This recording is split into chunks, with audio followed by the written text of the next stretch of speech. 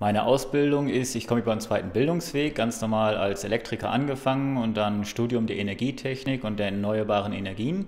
Habe dann promoviert im Bereich der Lichtbogenphysik und Abbrand von dreiphasigen Schaltkontakten. Das war dann sozusagen mein Bewerbungsschreiben für die Siemens AG, wo ich dann gearbeitet habe in der Entwicklung ähm, von elektrischen Schalt- und Schutzgeräten. Dort habe ich dann sehr schnell Projektleitungen übernommen, international, Verlagerung aus USA nach Indien und China worauf ich dann in China ein Entwicklungszentrum für 20 Millionen Euro auf der grünen Wiese erstellt habe mit Hochstromlaboren, mit Hochspannungsanschluss und Umweltlaboren. Im Anschluss daran bin ich zurückgekommen nach Deutschland und habe dann dort einen Bereich übernommen, eine Subsegmentleitung für das Thema der ACBs und der Sicherung. Und im Anschluss daran habe ich dann, bin ich weitergegangen in die Schweiz, um dann dort das ganze Thema Wärme aufzubereiten. Das Thema erneuerbare Energien zog sich durch die ganze Zeit meiner Siemens-Karriere und auch schon durchs Studium.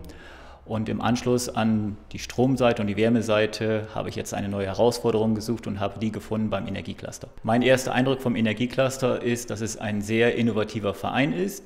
Er hat vier starke Säulen mit der Technologievermittlung, dem Wissenstransfer, dem Export und der Kommunikation.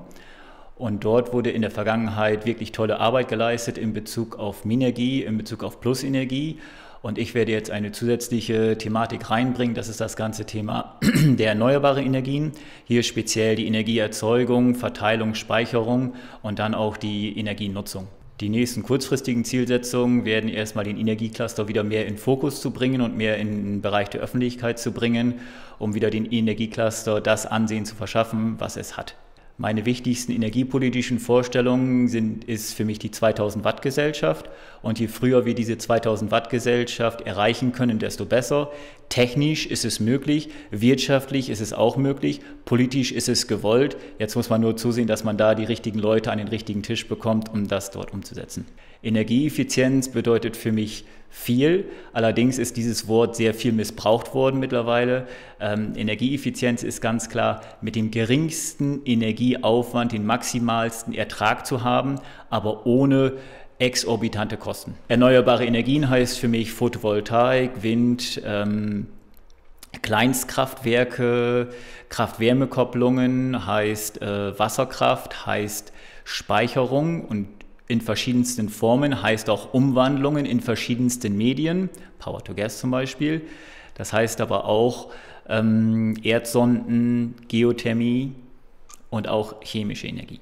Die Schweiz hat sehr viele innovative, tolle Unternehmen.